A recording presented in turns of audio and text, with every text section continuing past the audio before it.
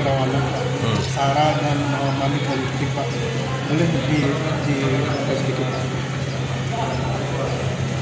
Untuk di Sumatera Barat, saya melihat urusan SARA mungkin kalaulah disebut tidak ada, ya hampir tidak ada di Sumatera Barat. Kalau ditanya kenapa? Karena di Sumatera Barat ini homogen penduduknya. Jadi karena homogen tidak ada isu. Apalagi agama, ras dan sebagainya tidak ada. Dan bahkan pengalaman kami sudah mengikuti pilkada sekian lama di Sumatera Barat untuk pilkada.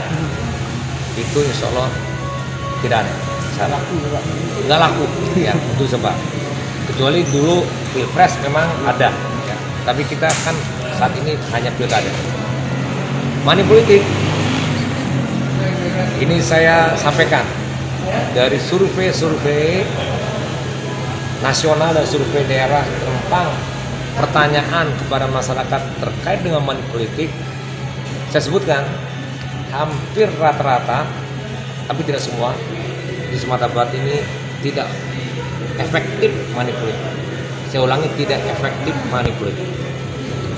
Ada daerah tertentu tapi tidak banyak kecil yang kalau berlaku money politik pilihannya sesuai dengan orang yang memberi sesuatu. Tapi secara umum kalau saya lihat tidak efektif. Percuma. Orang Minang itu dia dia kritiknya terima.